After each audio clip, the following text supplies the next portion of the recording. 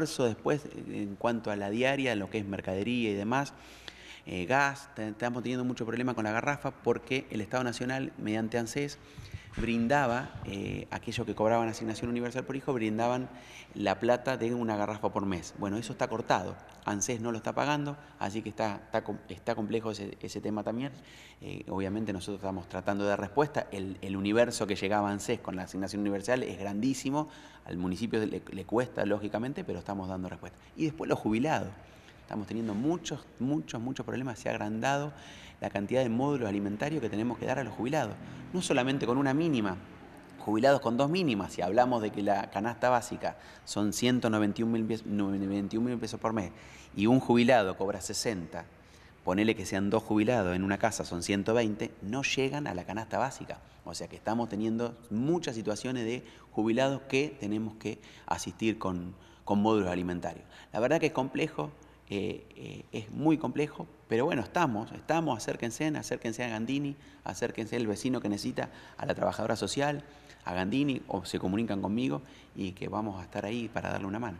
Bien, te consulto si se está trabajando o articulando con la oficina de empleo para esta gente que ha quedado desempleada por esto que mencionabas al comienzo de la nota, estas empresas que han cerrado, esto que hablábamos de clase media ha pasado a, pobreza, vamos a llamarlo así para que se entienda tal vez un poco mejor, digo, ¿están articulando con diferentes áreas del municipio? Articulamos con diferentes áreas, articulamos inclusive, por ejemplo, con los, con los empleados de Medilogo, ahora estamos teniendo eh, contacto para, para darle una mano, lógicamente la ayuda que uno le puede dar desde desarrollo obviamente que no le alcanza porque ellos no están cobrando el sueldo, le deben el sueldo, pero estamos articulando. Nosotros recordamos ya, esta empresa había tenido problemas en, la época de, que, de, que, de, donde Macri era presidente. Y, bueno, y en ese entonces también se habían acercado al municipio. Eh, bueno, ahora lógicamente nuevamente se acerca al municipio porque es el contacto directo.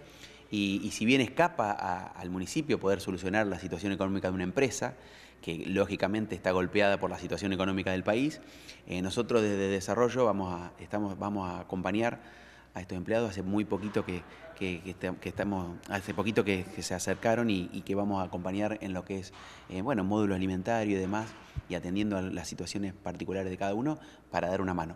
Lógicamente, siempre digo lo mismo, es una ayuda lo que puede brindar el Estado municipal es una ayuda, pero bueno, eh, la situación es compleja. Bien, te consulto por último, Manuel, si se tiene un número exacto tal vez de la cantidad de familias que se están ayudando en estos últimos días.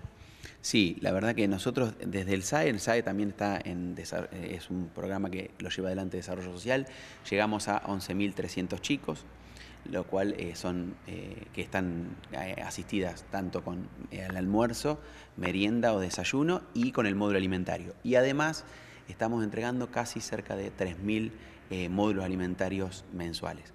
Eso todos los meses se va acrecentando, todos los meses hay más casos que necesitan.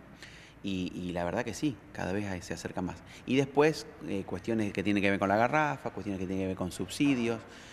los subsidios es complejo, muchas veces eh, todos los días se acercan vecinos que no pueden pagar el alquiler o que tienen complejo el, está complicado el tema del alquiler porque el alquiler también depende de la inflación. Hay un índice que maneja el alquiler que el año pasado aumentó casi el 90%, o sea que, que pagaba 30 mil pesos hoy paga 60 de alquiler, eh, casi, casi, casi el 100%. Así que es complejo. Eh, tenemos subsidios para alquiler, lógicamente son momentáneos y son no es todo, porque por ahí el vecino, eh, para que lo entienda, es una ayuda, es, un, es, un, es una ayuda a la situación y no es para todo, no es para todo, no es para siempre, sino que es para pasar el momento, pero se están dando todos los días muchas situaciones de ese tipo.